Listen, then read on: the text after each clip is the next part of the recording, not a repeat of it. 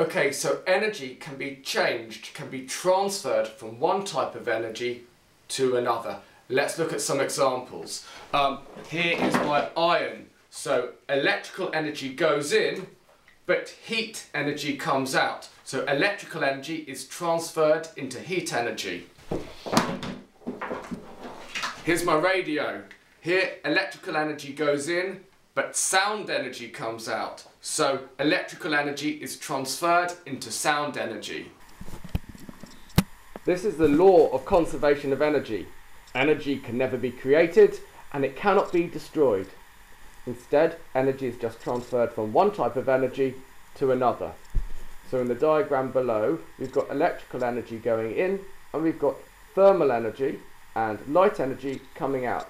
And we can see that the amount of energy going into the heater, 100 joules, is the same as the amount of energy coming out, 90 plus 10. Lastly, we can use diagrams to show energy transfers.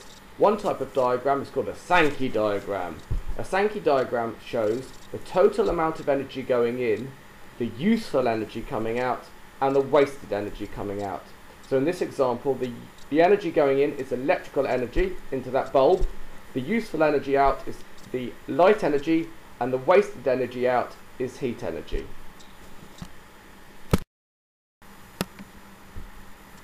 Efficiency is calculated as the useful energy coming out divided by the total energy going in multiplied by 100% so that we turn it into a percentage.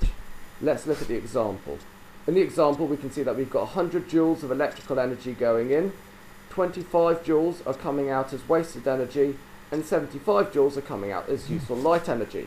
So the efficiency will be 75 divided by 100 multiplied by 100% and that gives us 75%.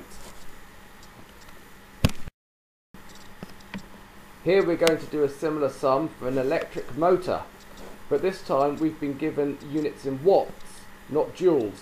That's okay because a watt is a joule per second so it still works out okay.